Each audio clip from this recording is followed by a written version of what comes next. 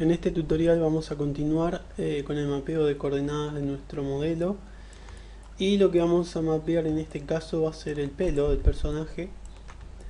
Para ello vamos a también utilizar el V-Layout vamos a seleccionar primero todos los mechones del pelo y la parte de atrás. Y los vamos a unir en un grupo.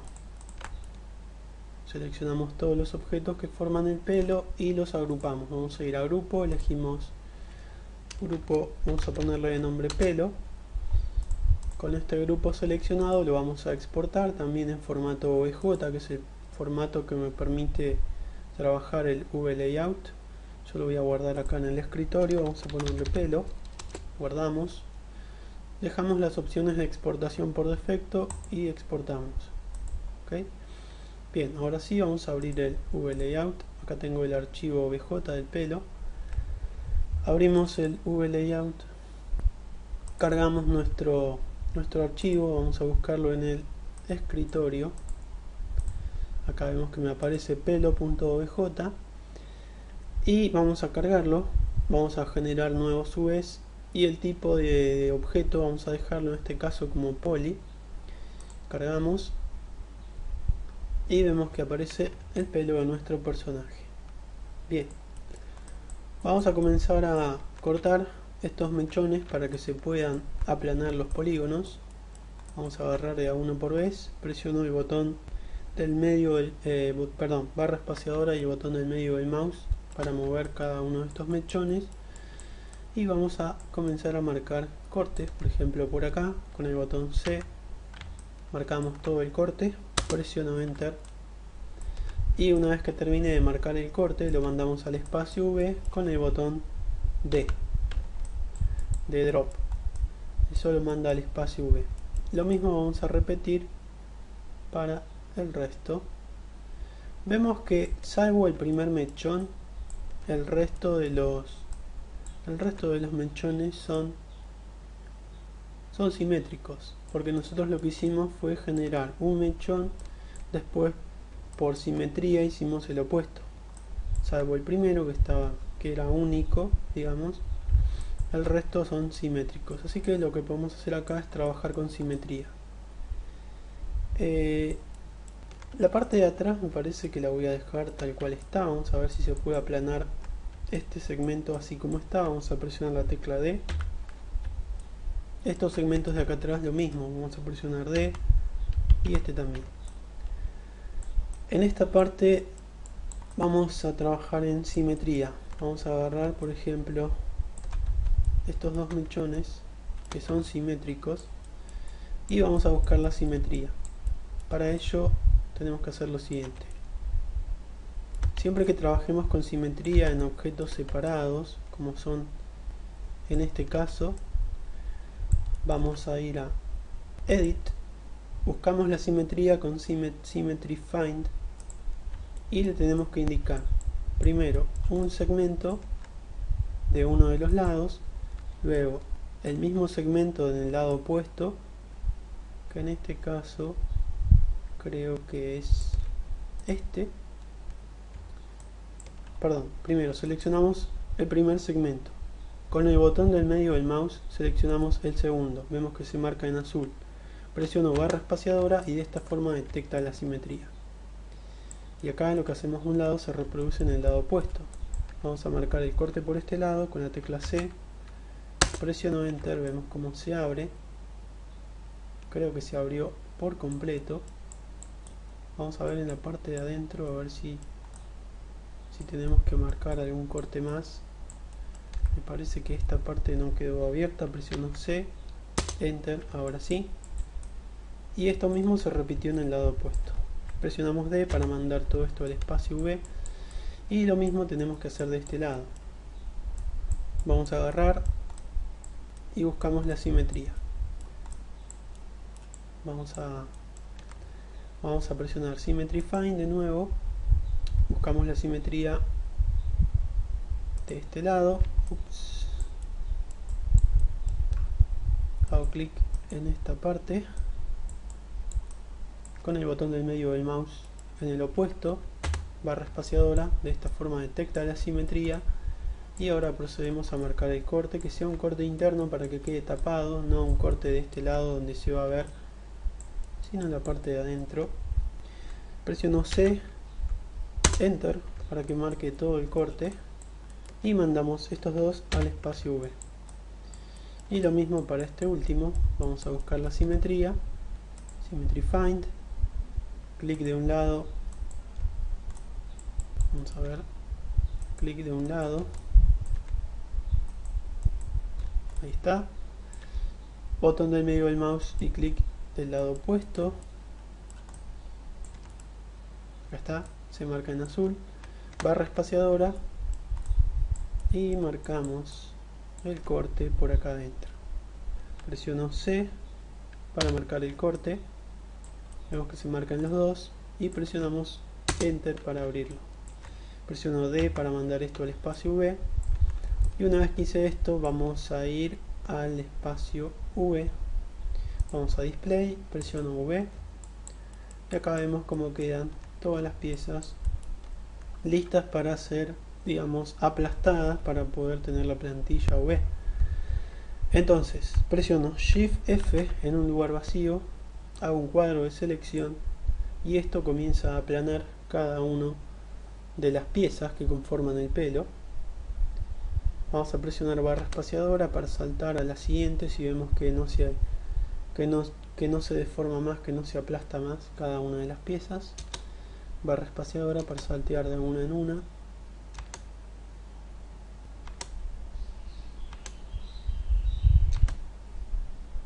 en realidad las piezas que están en color en color más oscuro son las, las simétricas.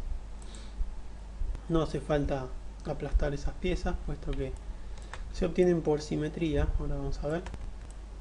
Estas son las piezas que conforman la parte de atrás del pelo. En principio parece que quedaron bien salvo algunas partes que, que están en color rojo que esto significa que la textura que vayamos a pintar o aplicar se va a ver un poco estirada y vamos a ver las partes de los mechones que son estas piezas. Si queremos obtener la simetría presionamos la tecla S. Ah perdón esta es la pieza única esta no tiene simetría. Esta es la pieza del frente que, que, cortamos primero. Vamos a agarrar por ejemplo esta. Esta sí tiene simetría presiono S vemos que me aparece de este lado. Vamos a agarrar esta. Presionamos la tecla S y esta otra también presiono S de esta forma tenemos todo todo el pelo aplanado toda la parte del pelo aplastado. Y lo que podemos hacer ahora es eh, primero que nada vamos a vamos a ver cómo queda en la vista 3D esto es la vista 3D vamos a separar esto en dos en dos ventanas split plane de este lado vamos a elegir la vista V. Y de este lado vamos a elegir la vista 3D ¿ok? esto de acá lo vamos a meter dentro del espacio V. Para ello presionamos Shift y el botón que está entre la ñ y el botón Enter. Vemos cómo se, se ordenan todas estas piezas para quedar en este lugar. Vamos a ver en la vista 3D cómo queda este mapeo de coordenadas si presionamos la tecla T vamos a ver una textura. Presionamos la tecla T de nuevo para ver cómo se deforma la textura. Vemos que la parte que está en rojo se va a estirar. Se dan cuenta porque el tamaño de los cuadraditos es más grande que esta parte donde, donde se ven en blanco. Van a ver que en esta parte se ven un poquito más grandes y si vemos que hay alguna parte que está en azul esto quiere decir que se van a reducir de tamaño. Por ejemplo acá en el extremo estos extremos de acá que están en azul vemos que la textura se deforma bastante se achica bastante. Si queremos podemos subir o bajar el tamaño de, de la textura con el botón más del teclado numérico. Perdón con el botón menos del teclado numérico podemos agrandar la textura o con el botón eh, con el botón shift y el botón igual shift y el 0 que vendría a ser el igual. Esto lo que hace es reduce el tamaño de la textura así lo vemos mejor. Vemos cómo se deforma en esta parte de acá abajo. Cómo se va haciendo cada vez más chiquito debido justamente a que acá tengo eh, mucha compresión de la textura si queremos podemos separar esto por la mitad para que tenga mayor distribución los polígonos con lo cual la textura se va a ver correctamente vamos a probar. Presiono la tecla C presiono F para aplanar nuevo. Vemos como la textura se distribuye un poquito mejor. Vamos a hacerlo de nuevo por acá. Presionamos C F vemos cómo se distribuye mejor. El tema es que al distribuirse mejor estamos agregando este corte que en realidad no nos conviene. Vamos a soldar esto. No nos conviene tener ese corte presionamos la tecla S. Vamos a mover estas piezas por este lado. Si ustedes eh, si ustedes el botón S de la simetría ven que si yo muevo esta pieza por este lado presiono S me aparece acá al lado. Me parece que en las últimas versiones del V Layout lo que pasa es que cuando ustedes presionan la tecla S esto les manda al digamos en el mismo en el mismo en el mismo tamaño de la textura se los manda separado al lado opuesto. Si yo presiono S esto me lo estaría mandando por acá creo. Para tenerlo como lo tengo ahora así ven que si yo presiono S me lo pone justo acá al lado. Me parece que hay una opción por acá en preferencias. Vamos a ver en la parte de edit creo que estaba. Eh, acá donde dice all style s key copy yo lo activé. Si lo desactivo vamos a ver qué es lo que pasa. Vamos a continuar. Ahora si yo presiono S ven que me lo separa un poco más si yo presiono S de este lado vamos a agarrar por ejemplo este lo vamos a mover acá presiono S ven cómo me lo lleva al lado opuesto bueno a mí no me gusta esta forma así que voy a activar esta opción. Continuamos y ahora si presiono ese ven que lo pone acá al lado. Lo mismo con este. Ok bien vamos a continuar presiono shift y el botón de abrir paréntesis vamos a ver que tenemos mapeado el pelo. El problema es cuando nosotros vamos a pintar la textura. Vemos que en líneas generales quedó bastante bien. Podemos llegar a tirar una línea recta por acá. En Photoshop también lo que podemos llegar a hacer es definir cada uno de estos mechones como si fueran un cuadrado. De esa forma va a ser de, esa forma lo que podríamos hacer es pintar más más fácilmente la textura pero le estaríamos agregando distorsión a los polígonos. Eh, para ello lo que, lo, que, lo que trato de explicar es lo siguiente. Vamos a buscar una textura de pelo vamos a buscar por ejemplo high texture van a ver que las texturas que, que se presentan acá son prácticamente cajas vamos a ver que podemos agarrar por ejemplo esta que es como una especie de caja y aplicársela directamente a esto como si fuera una caja. Para ello tendríamos que definir esto también como un box. Y hay un botón que me permite hacerlo. Me paro sobre este objeto. Vamos a ver cuál es primero. Vamos a agarrar este de acá del frente que me parece que va a ser más fácil de verlo. Que es este. Me paro sobre este objeto y presiono la tecla R. Vemos que queda como una caja. ¿okay? que va a ser más fácil de aplicarle la textura puesto que simplemente tengo que adaptar esto a la caja vemos que se deforma bastante los polígonos presiono F para para que se distribuyan y una vez que suelto la F vemos que se mantiene la caja ¿ok? si queremos vemos que también hay deformación en la parte de acá del medio de los polígonos vemos cómo se deforma toda esta parte Si queremos que se mantenga eh, recto también la parte de adentro, lo que podemos hacer es presionar Shift R en un lugar vacío y ahora seleccionamos esta caja. Vemos que ahora todos los polígonos quedan rectos, quedan como cuadraditos, presiono F para suavizar, suelto y vemos que ahora todo se mantiene como cuadraditos. Obviamente, haciendo esto nos facilitaría a la hora de texturizar este mechón, pero le va a agregar distorsión en determinadas zonas. Por ejemplo, acá abajo la textura se va a distorsionar bastante y acá arriba se va a estirar bastante.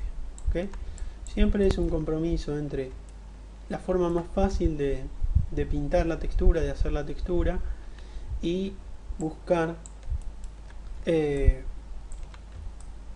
buscar también que, que no se deforme mucho que la textura se vea correcta en el modelo.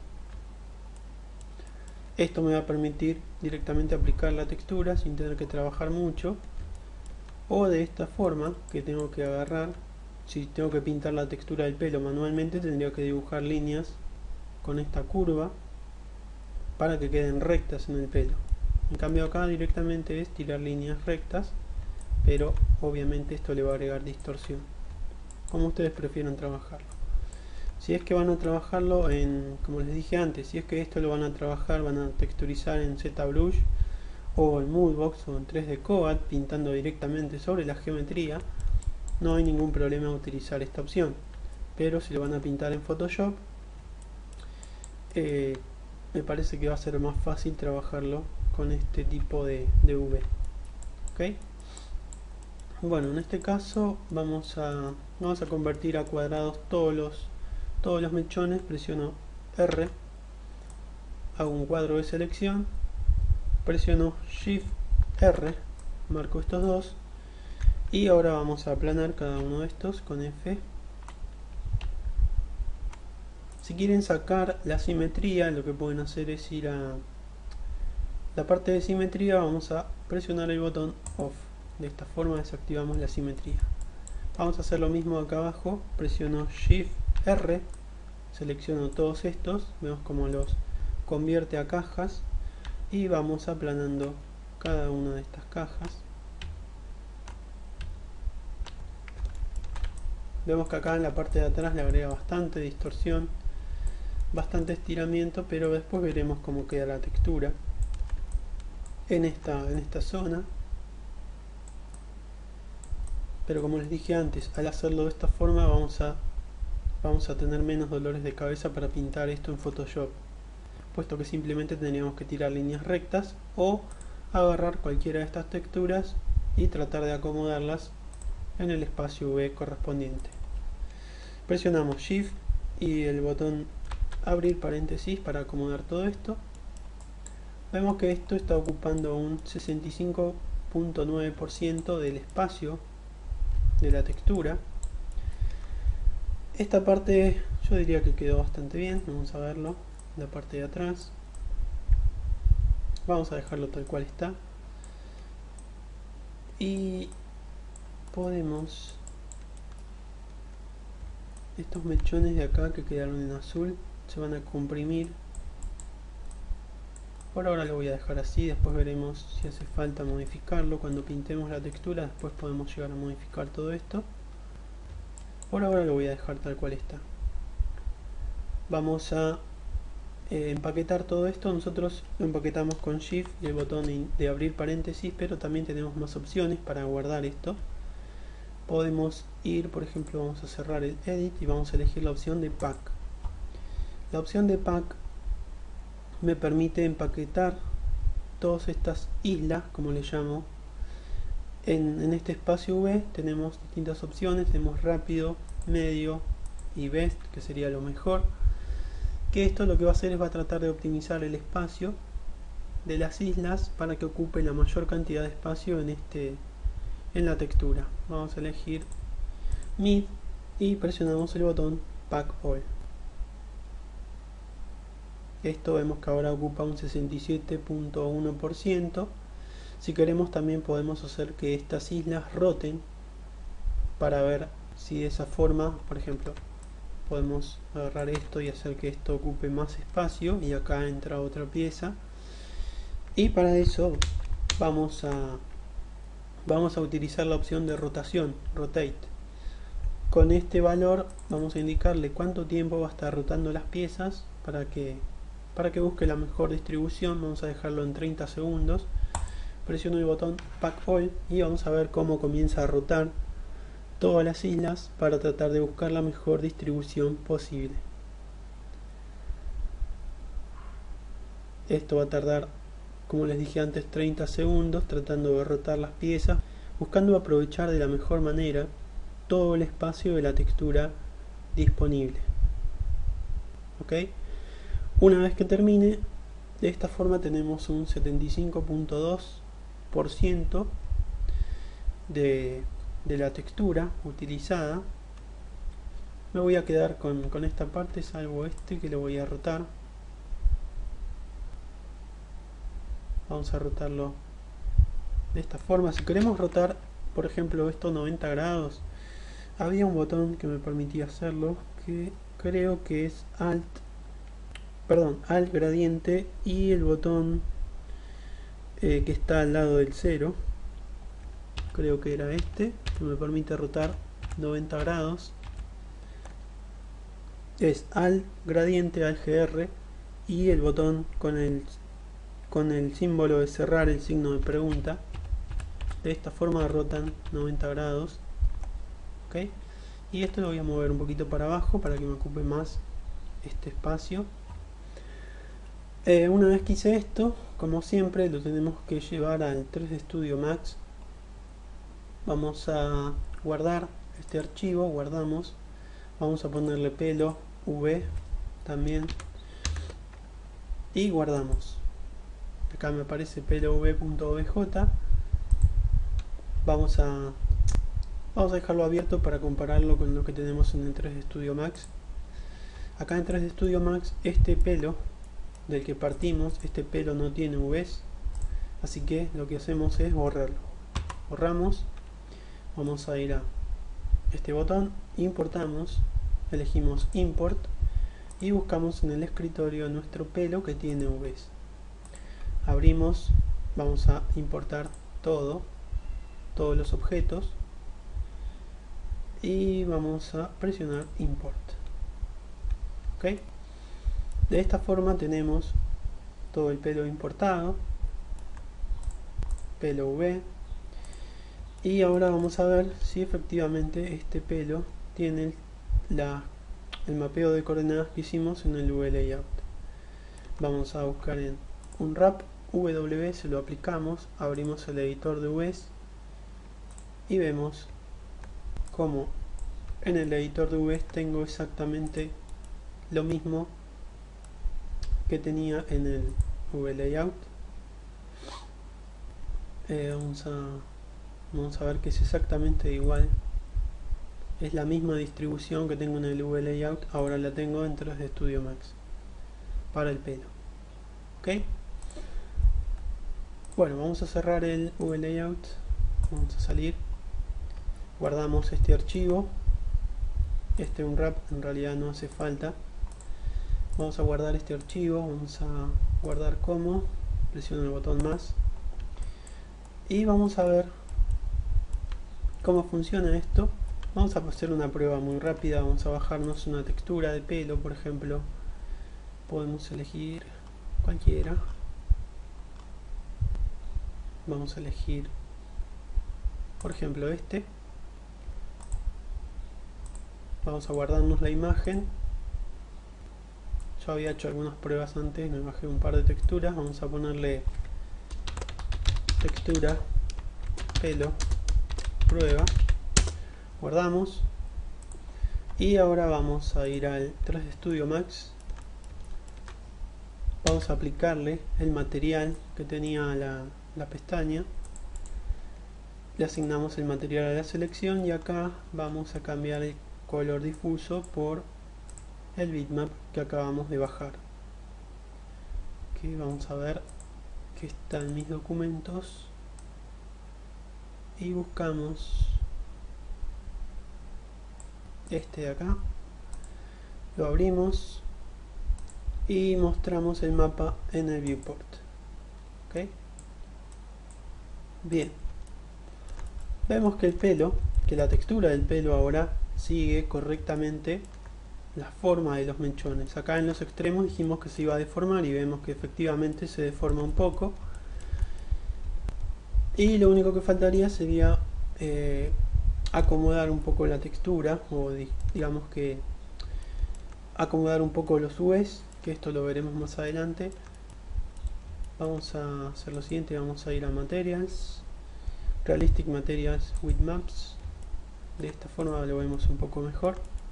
Vemos como el pelo sigue cada uno de los mechones desde el principio hasta el final. ¿ok? En cambio, si hubiéramos tenido los otros UVs, los que tenían los que tenían la forma más curvada, digamos, que tenían la forma más como de curvas, no sería una línea recta esto, sino que estaría deformado. No sería recto como vemos ahora, sino que tendría ondulaciones por acá, pero al tener ondulaciones tendría menos deformación en la parte de abajo. Siempre es un compromiso entre una forma más fácil de texturizar o y tener compresión o deformación o tener eh, menos deformación, menos estiramiento y se dificultaría un poquito más la, el texturizado. ok Vamos a mostrar la textura acá. Vamos a activar este botón y acá vemos cómo queda la textura sobre cada uno de estos mechones obviamente acá hay que trabajar un poco más para que esto por ejemplo esto me parece que quedó horizontal tenemos que buscar este que sería esta parte que quedó toda horizontal habría que rotar todo este segmento eh, vamos a rotarlo de esta forma y ubicarlo en el lugar correcto. No importa que se superpongan puesto que está usando la misma textura. Vamos a ver que ahora queda correctamente alineado. Obviamente esto, esto que, hice ahora está mal, después veremos cómo corregir todo este tema del pelo. Vamos a presionar control Z. Cierro esto. Y de esta forma tenemos el V para el pelo. Ok. Eh, bueno, eso sería todo por el momento. Me parece que estas pestañas que hicimos en su momento las voy a borrar. Creo que... Perdón, las pestañas no, las cejas. Estas cejas que son como cajas, me parece que las voy a borrar y lo que vamos a hacer es pintar directamente las cejas sobre, sobre la geometría de la cabeza. Parece que vamos a hacer eso. Vamos a borrar esto a ver cómo queda. Nosotros pintamos acá en la geometría de la cabeza. Cuando hagamos el V creo que va a quedar mejor bueno, vamos a dejarlo así por ahora vamos a guardar esto de nuevo. Elijo el pelo, vamos a quitar este un wrap y bueno, esto sería el cómo hacer el mapeo de coordenadas para el pelo utilizando el V layout. En el siguiente tutorial vamos a ver cómo mapear la camiseta y poder unirla también en el mismo en el mismo espacio V que tenemos el pantalón. Pero eso lo veremos en el siguiente video